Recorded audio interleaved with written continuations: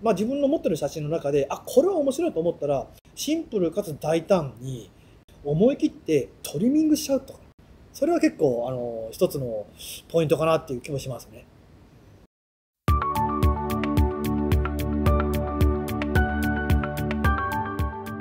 撮った写真を身につけたり持ち歩こ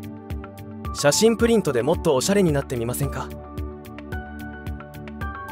今回は夜景写真で世界的に有名な写真家藤村大輔さんに自分で撮った写真でおしゃれをすることについて伺いました。とっておきの写真を T シャツにしてみませんか？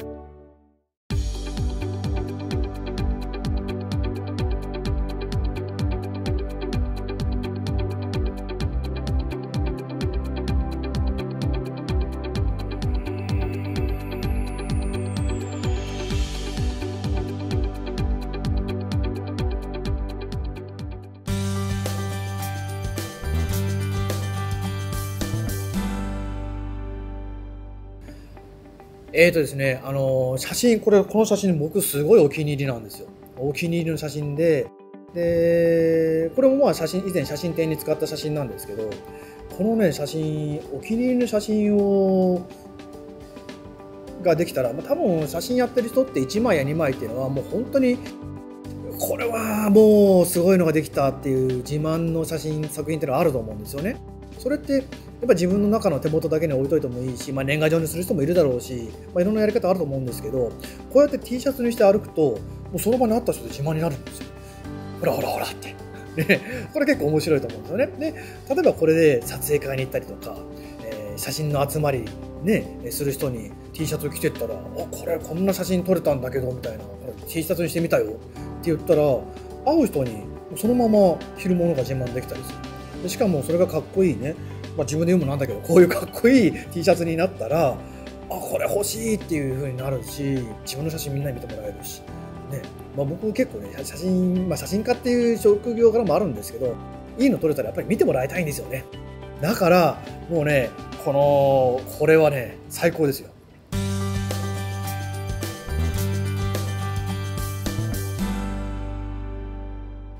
やっぱりかっこいいですよね。もうキーワードとしてはかっこいい。うん、あの、やっぱり若い人はほら、可愛いとか、綺麗とか、柔らかいふんわりとかあると思うんですけど、やっぱりもう、ね、おじさんだから、やっぱり渋いとかかっこいいとか、そういう、えー、キーワードが欲しいですよね。まあ、僕、ニューヨーク行った時にマンハッタンで撮った、あのもうビル群のね、写真なんですけど、これ写真自体はモノクロね、で、白の T シャツに、プリントしてるわけなんですけど、まあ、ジャケットはちょっとブルーのね、ブルーっていうかちょっとグレーっぽいようなブルーのジャケットなんですけどね、それに T シャツだけっていう感じで、まあ、こういうラフな感じで着るのには、やっぱりそうですね、写真ドーンと置いて、しかもこの写真自体がかっこいい写真で、インパクトがあれば、まあ、決まりやすいんじゃないのかなと思いますよね。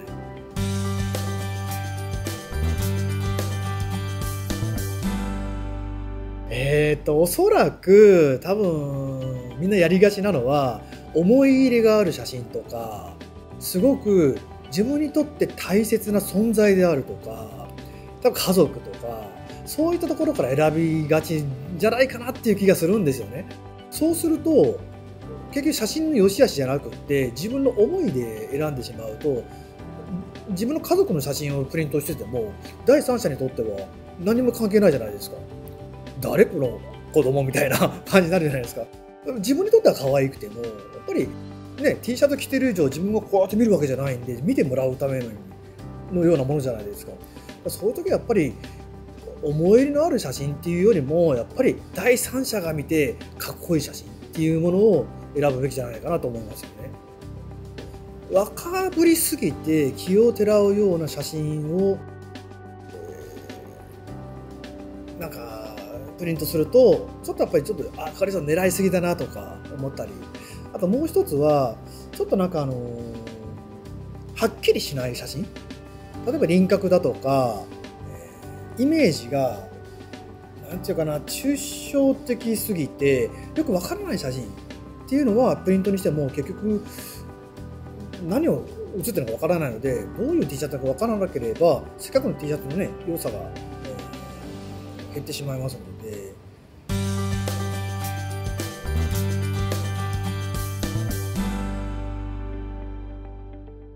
この T シャツはですね、これ、えっとね、え何年前だ ?2021 年？あ、違う、20年か。に、あ、20年だ。コロナが始まった年だ。に写真展をやった時の、えー写真の一つなんですけど、これね、チェコ。チェコって、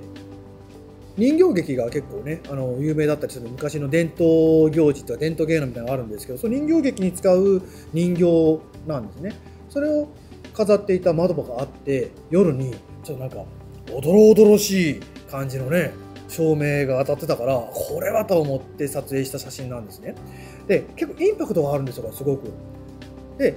やっぱ夜撮ってるから、えー非常に不思議な、あの、怪しい雰囲気があって、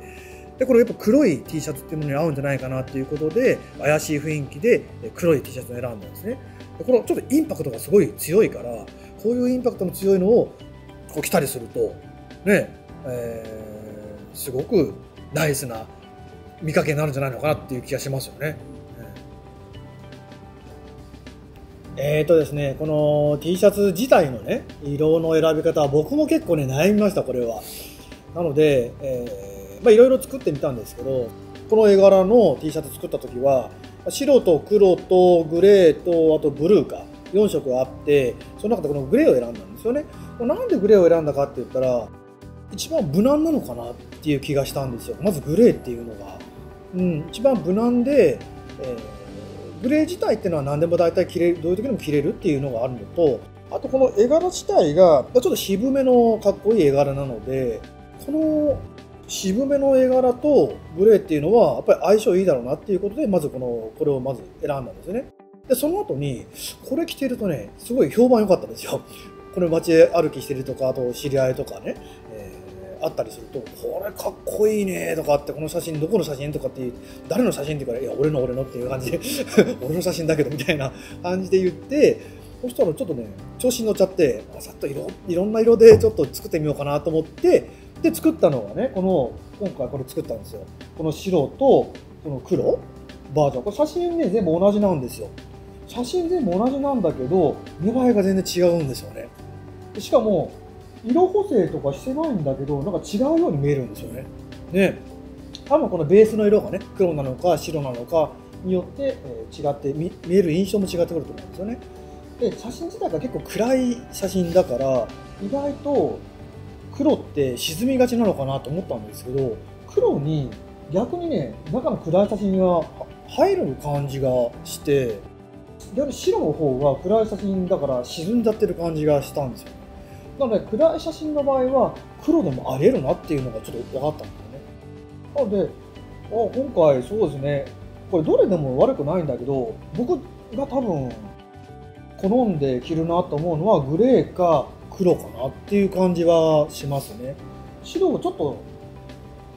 沈みがちな感じがしたんですよね。まこれやってみなきゃ分かんない部分があるんですけど、一応この黒い暗い写真でも黒で結構いけるっていうのは参考にしてもらえればなと思うんですよね。これこの黒、白、グレー、まあ、ブルーはちょっと作らなかったんですけど、ブルーは多分この写真ではないかなと思ったんですよね。えーまあなんでかと言ったら、この暖色系の色があるんですね。ちょっとアンバーの、ちょっとオレンジっぽいような、茶色っぽいような色が乗ってるような写真だから、ブルーだと、えーちょっとね、反対色なんで、ちょっとぶつかっちゃう色だから、こういう色はあんまり使わない方がいいのかなと思って、で、ちょっと白、黒、グレーで作ってみました。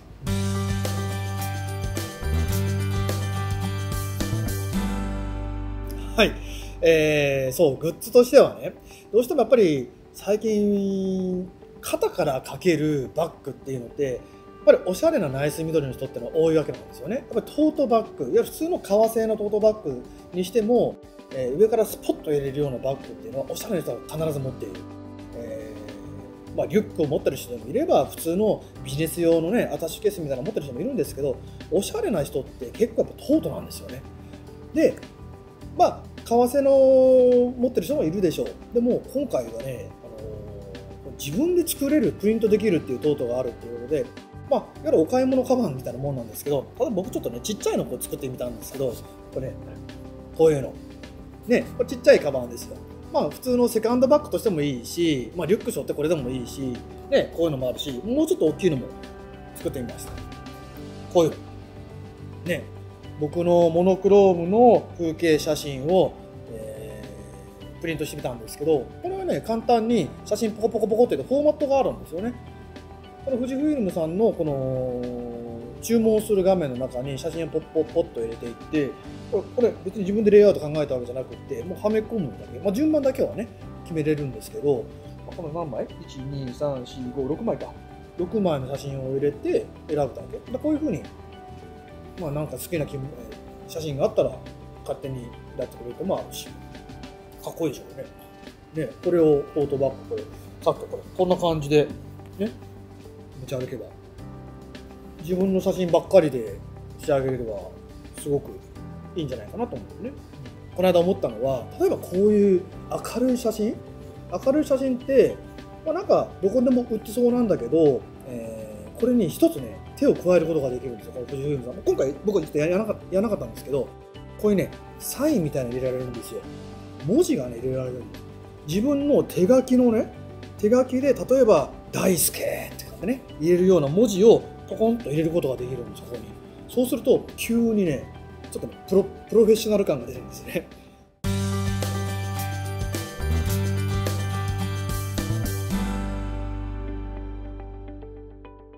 T シャツにしてもトートバッグにしてもそもそもそんなにプリントの画質が写真ほどクオリティがいいわけじゃないんですよ。写真のプリントほど。なので荒れてくるんですよね。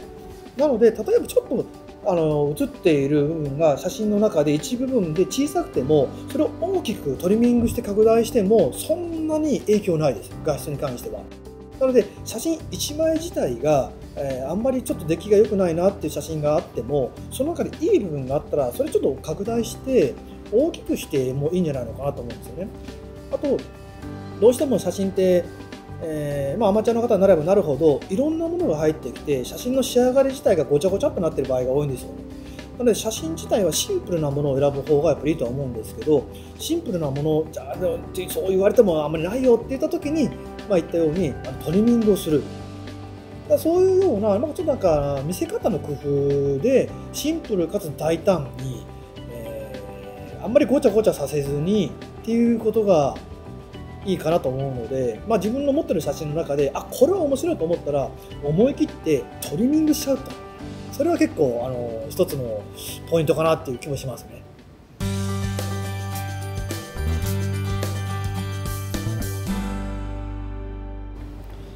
はい、あのー僕が今ね使ってるカメラってこの富士フイルムさんの XH2 なんですね。この XH2 って画素数がま4000万画素を超えてるので結構ねトリミングもしても大丈夫なんですね。まあ、さっきあの散々、えー小さい写真から大きくトリミングなんて話をしたんですけどここをトリミングするにしてもやっぱり最初の元の解像度が高いに越したことないということでやっぱりこの XH2 っていうのは有利なのかなって気がしますよね。で、まあ、その解像度はもちろんそうなんですけど解像度だけじゃなくって、色味ですよね富士フイルムさんの特徴っていうのはやっぱ色がいいとよく言われてますけれどもその中に僕がすごい好きな色発色する、えー特に T シャツを作るときにね渋いのがいいとかこういうかっこいいのがいいとかっていうお話もさっきしたんですけど渋い写真かっこいい写真って誰でもやっぱり撮れるかって言ったらそういうわけでもないと。ででも例えばこの富士フイルムさんのカメラの中にあるフィルムシミュレーションこの中にねクラシッククロームってのがあるんですよ。クラシッククロームって僕大好きでよく使うんですけどこれがねもう誰がとっても渋くなるようなそういう色なんですよね。本当ねクラシッククロームで普通の風景普通のスナップ撮ったら他のカメラでスタンダードとかニュートラルにして、えー撮った写真とこの富士フイルムさんのカメラでクラシッククロームで撮った写真を同じ条件で撮ったとしてもクラシックロムで撮ったらねかっこよく見えちゃうんですよね。なので、まあ、やっぱりこの一つ試してみてほしいのがクラシッククロームの色味。やっぱこれは T シャツとかトートとかにも使えるしもう一つはねプロネガとかあとねぜひ試してほしいのがね面白いのがエテルナなんですよね。エテルナってね動画とかをよくやる人なんかには映画のようなねこの柔らかい 35mm シネマのようなそういうような発色をするので写真にはちょっと扱いづらいかなって印象があると思うんですけどこのエテルナとかエテルナブリーチバイパスこの辺の渋い柔らかいちょっとなんかね夢の中にあるようなこのトーン。このねトーンで撮った写真をぜひね T シャツに使ってほしいです。これ誰が撮っても良くなりますから。これね誰が撮っても本当に魔法の色味だと思うんですよね。本当渋い色味になるからぜひこの別にこの XH2 じゃなくてもいいんですよ。H2 じゃなくても他の機種でも構わないんで富士フイルムさんのフィルムシミュレーションを使って撮ってもらえると渋くなるんでかっこよくなるんでそれでぜひ T シャツとかトートとか作ってほしいなと思います。オリジナルの T シャツとトートバッグ。富士カラーフォトグッズで検索してみてください。写真ともっと。写真って毎日をもっと楽しくするためにある。もっと気軽に形にしてみよう。